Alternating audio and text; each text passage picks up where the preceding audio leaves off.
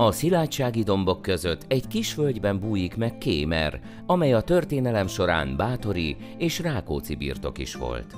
Az oklevelek a települést először 1320-ban említik, vagyis már 700 évvel ezelőtt megvetették itt a lábukat a magyarok.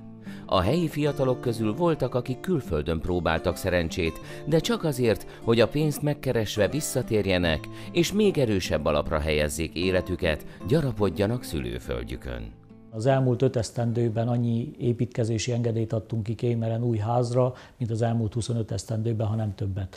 Tehát mindez annak a jele, hogy, hogy Kémeren igenis van jövő, igenis a fiatalok szeretnek itt élni, mi pedig igenis azért vagyunk ide választva, azért vagyunk ide téve, hogy mindent megtegyünk azért, hogy az emberek jól érezzék magukat. Szabó Levente György 2008 óta vezeti a falut.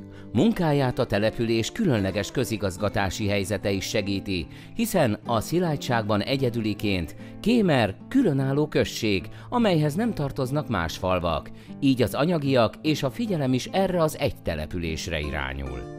Kémeren a lakosságnak több mint 92%-a magyar. Itt magyar iskola, magyar óvoda működik, és folyamatosan fejlődik. Legutóbb egy teljesen új korszerű óvodát építettek. Az oktatás mellett a hit a legerősebb megtartó és közösség összekovácsoló erő. Kémerről sokan tudják, hogy 6, illetve 7 vallásnak ad helyet ez a település.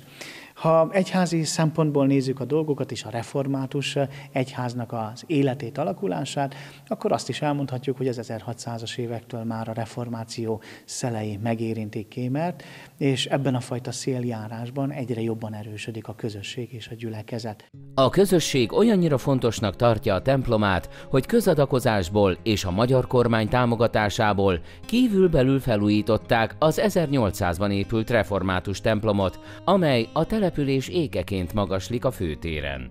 Mivel a falu legalacsonyabb pontján fekszik, folyamatosan vizesedik, még a földet is ki kellett hordani bentről ahhoz, hogy további évtizedekre megőrizhessék az utókor számára. Ebből is látszik, milyen szívósan ragaszkodnak gyökereikhez az itt élők.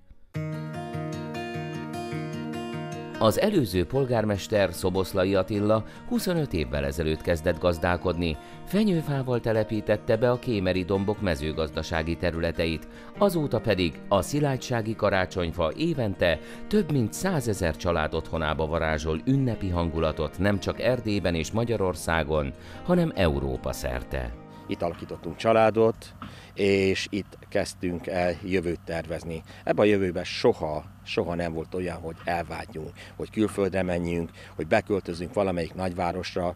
Karrier szempontjából biztos jó lett volna, akár politikusként elmenni valahova, de mindig azt mondtam, hogy nem, nekem itt a helyem.